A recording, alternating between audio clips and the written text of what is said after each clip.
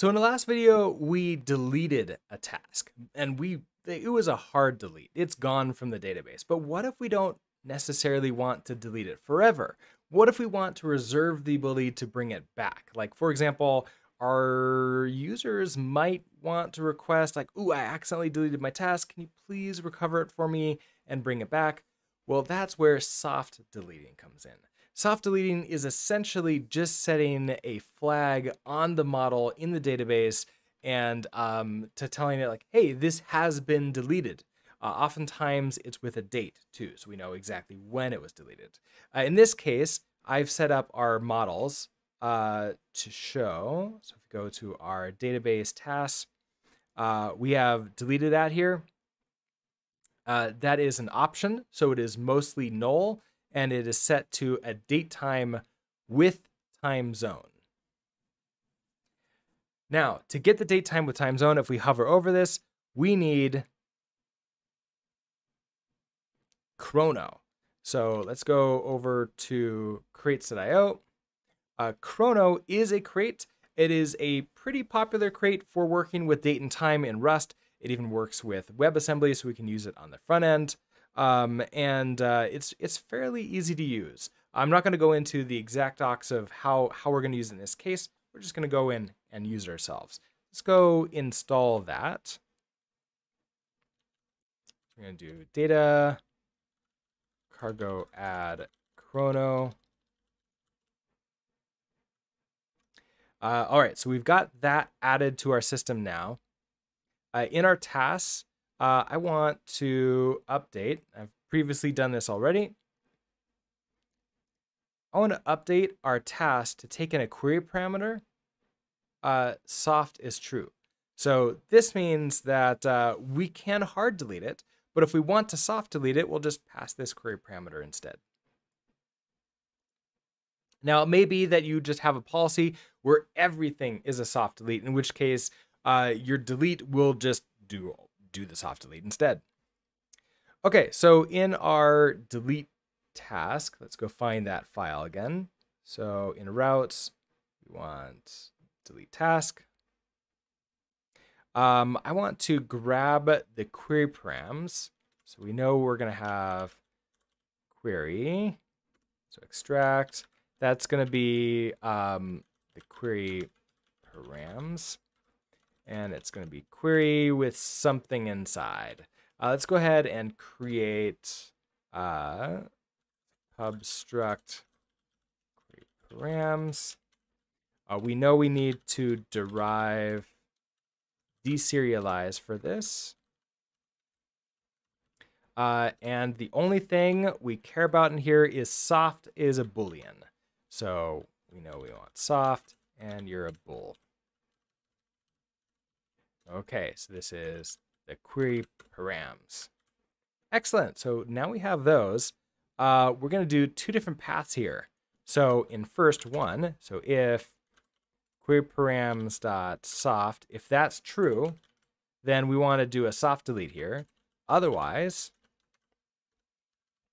we want to take all of these, move you in here.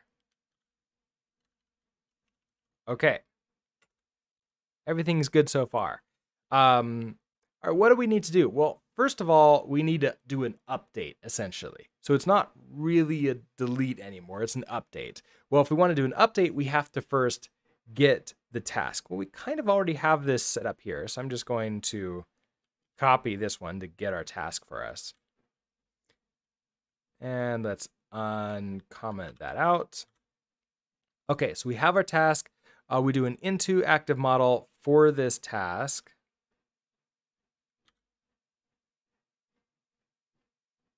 We have task into active model. If you find it, otherwise return this error. What are you upset about? I want to return out of this if let into you. Uh, no method named into active model found for struct model. This task is in fact the model. Uh, I think Rust Analyzer might be a little bit upset. I'm going to restart it really quickly. And we'll see, we'll see whether or not we still have the same problem.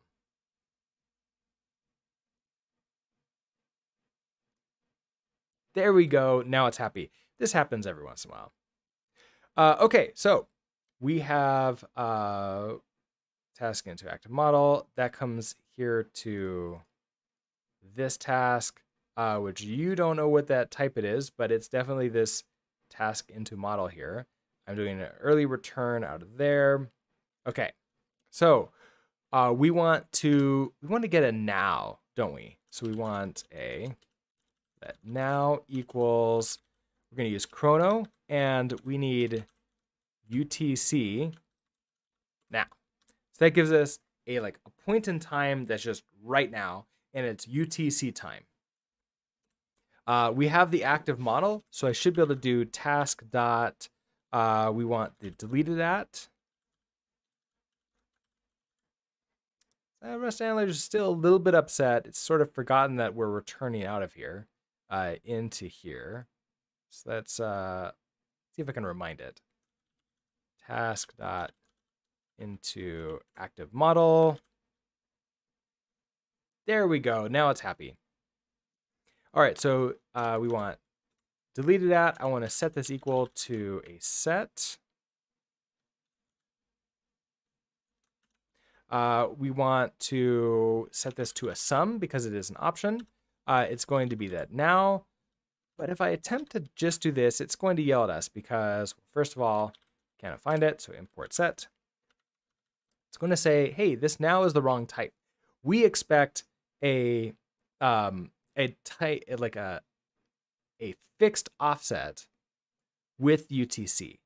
But luckily, UTC is com compatible with that. We just have to do an into to convert it over to the correct type. All right, so now you're just saying, hey, it's not mutable. Let's mark you as mutable. Okay, great. Now we just need to do the actual update.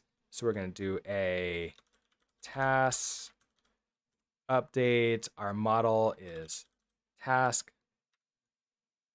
Uh, we exec this, pass it a reference to the database. Uh, we await. We map the error.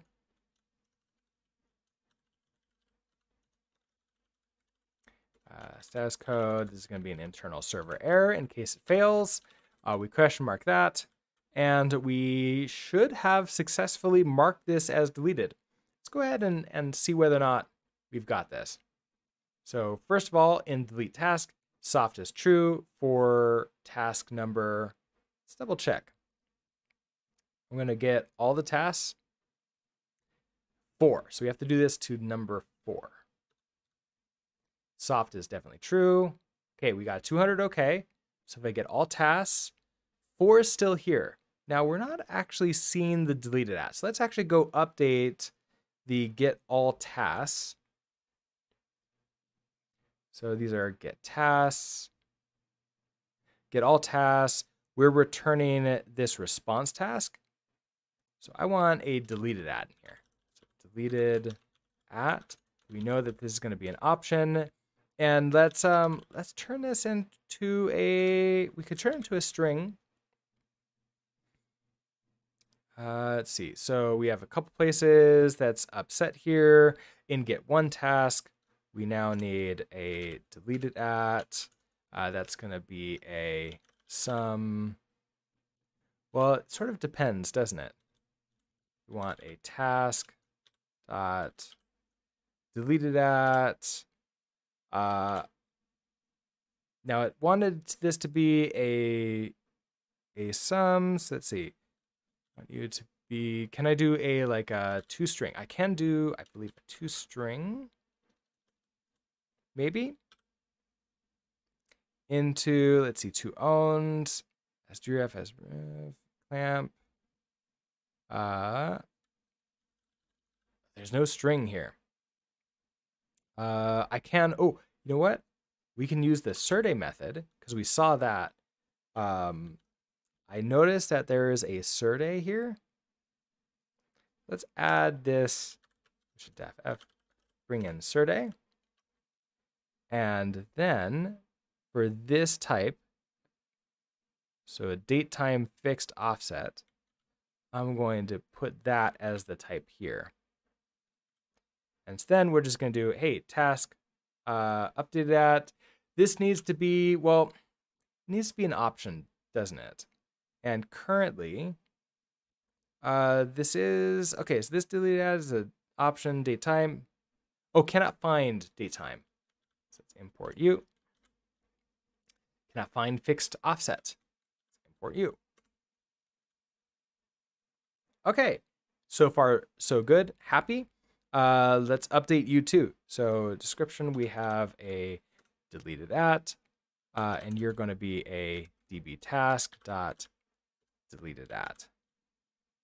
Okay, let's now get all tasks. Uh, deleted at is null for all of these except, oh, look at this. ID 1 is deleted at. Hey, the title is my deleted task. That kind of makes sense. ID 2 is null, ID 3 is null, and ID 4 that we just deleted is deleted, and that looks like today, uh, 2022, November 18th, which is in fact today.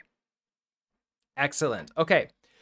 Now, if something's deleted and I'm trying to get it, that kind of doesn't make sense for us to get it. So that's uh, also important for us to update our get tasks to not return if if deleted at is set. So it's something that I often forget the first time I build something into a project and then we get a bunch of deleted things showing, then I have to go back later and do it. So when we add the delete ability, just also make sure we go and update the get task. Okay, so we find by ID one. So in between here, we want to do a filter. I want to filter where we have task column deleted at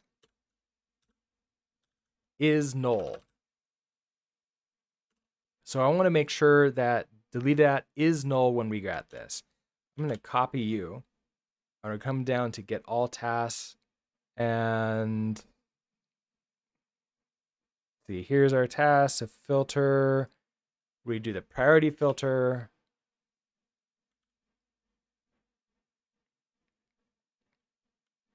And add you in there too. So uh, this is conditional. Okay, so we're adding a priority filter if if apps if necessary from the query params. But we're also adding deleted at as null. So no matter what, uh, we will not get those. Let's now see. We're now getting only these two. And if I attempt to get one task and we get, let's say, four again, we get a 404 not found because, hey, it's deleted at the database, totally deleted. Uh, now, if we want to undelete that, that will be a normal update where we set the deleted at explicitly to null. But I wanted to show you this pattern for deleting a task um, in a not, you know, actual deleting way. Uh, it still appears to be deleted from the user's point of view, but it's still in the database too. So if we really want to, we can undelete it later, or we can just go, you know, routinely through and then, you know, really truly hard delete everything that's been deleted in the past, like, you know, over 90 days or, or something like that. So with that, uh, that is soft deleting data. That is also everything in a CRUD data in a database. Uh, thank you so much for watching. Hopefully this was helpful, and uh, I'll see you in the next section. Bye.